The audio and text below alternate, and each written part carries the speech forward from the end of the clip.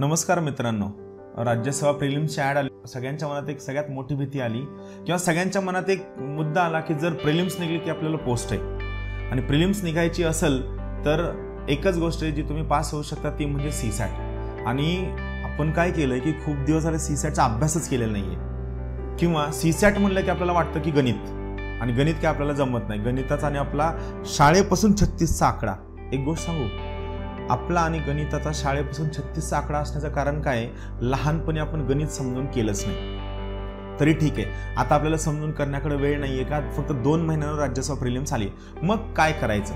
तर आज मी थोडक्यात तुमच्या मनामधनं सी सॅटची भीती काढणार आहे. बघा एक महत्त्वाची गोष्ट काय मित्रांनो? सी सॅटचा पेपर अटेम्प्ट करताना तुमचा अटेम्प्ट किती झाला हे महत्त्वाचं. जर पेपर खूप जास्त सोपा आला मी आम आदमीविषयी बोलतोय जो आम आदमी पास होणार आहे. म्हणजे ॲव्हरेज विद्यार्थ्याविषयी बोलतोय. तुमच्या आजूबाजूला बरीच लोक असतात की जी खूप गर्वानं सांगतात की मी सी ऐंशी प्रश्न अटेम्प्ट केले एकोणऐंशी केले दरवर्षी मी ऐंशी करतो. आपल्याला त्यांच्याबद्दल डिस्कस नाही करायचं आहे आपल्याला अशा व्यक्तीबद्दल डिस्कस करायचं आहे की ज्याला सी सॅट अवघड जातं पण तो सी सॅट पास होऊ शकतो. फक्त काय भीती असल्यामुळे त्याच्या डोक्यातून सी सॅटची भीती जात नाही या भीतीमुळे तो सी सॅट पास होत नाही. आपल्याला या सगळ्यांविषयी बोलायचं आहे जो ॲव्हरेज पन्नास ते साठ टक्क्यावाला विद्यार्थी आहे. बघा सगळ्यात पहिली महत्त्वाची गोष्ट सीसॅटमध्ये एकूण प्रश्न असतात ऐंशी. बरोबर आहे? ऐंशीपैकी पन्नास प्रश्न कॉम्प्रिहेन्शनवर असतात. पाच प्रश्न डिसिजन मेकिंगवर असतात. आणि पंचवीस प्रश्न अंकगणित बुद्धिमत्ता लॉजिकल ॲनालिटिकल सिलॉजिझम या सगळ्या रिझनिंगवर असतात. म्हणजे महत्त्वाची गोष्ट जो गणित नावाचं राक्षस आहे ना हा किती मार्कांना असतो? फक्त फक्त पंचवीस मार्कांना असतो. ॲव्हरेज हां. एक्झॅक्टली नाही पण ॲव्हरेज असं असतं. आता महत्त्वाची गोष्ट काय की माझ्या अभ्यासानुसार जो ॲव्हरेज अटेम्प्ट आहे हा ॲव्हरेज अटेम्प्ट असतो पासष्ट ते सत्तर. ॲव्हरेज अटेम्प्ट असतो पासष्ट ते सत्तर. चांगला ज्यावर माणूस कम्फर्टेबली सी सॅट क्लिअर होऊ शकतं. जर पेपर सोपा आला तुमचा अटेम्प्ट हा सेवन्टी फाईव्ह टू एटीकडे जाऊ शकतो. पण असं रेअरली होतं की सी सॅटचा पेपर सोपा असतो. अदरवाईज ॲव्हरेज अटेम्प्ट असतो सिक्स्टी फाईव्ह टू सेवन्टी मग जर पासष्ट ते सत्तर जर अटेम्प्ट असेल तर आपण एक सिंपल विचार केला. तर बघा या पासष्ट ते सत्तरपैकी लेटेस्ट से आपल्याला गणित अवघड जातं. आपल्याला जमत नाही.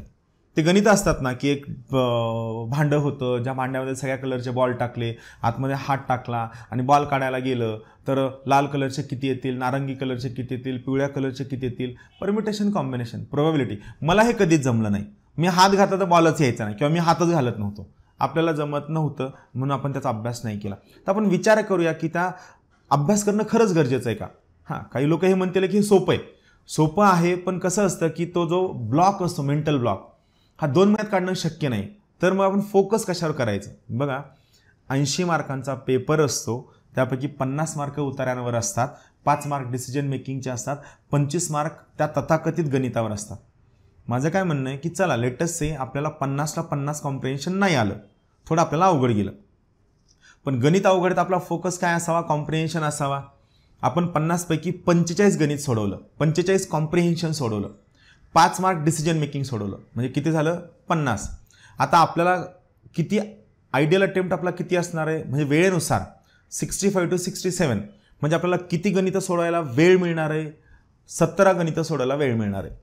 सतरा. बरोबर आहे?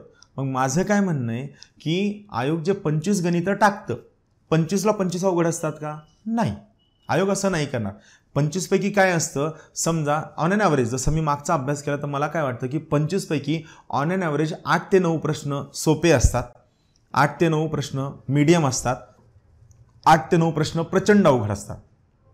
म्हणजे प्रचंड अवघड आठ ते नऊ प्रश्न येतात हे आपल्याला येत नाहीत.